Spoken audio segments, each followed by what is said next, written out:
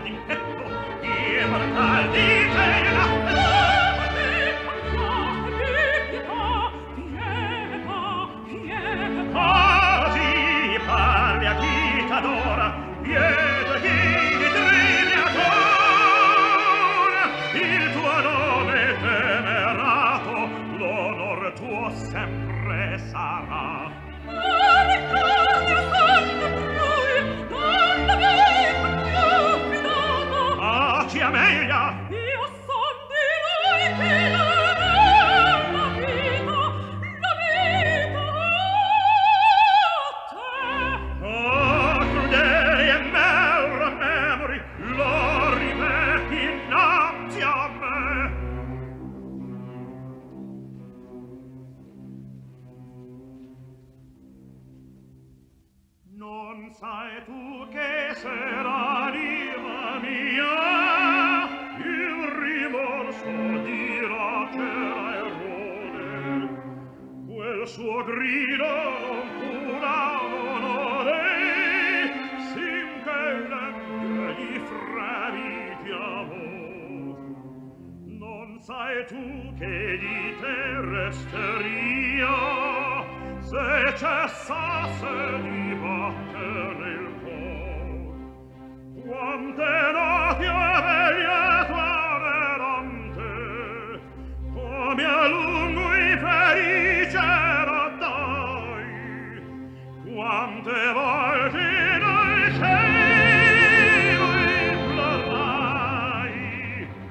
la pietà che tu chiedi da me.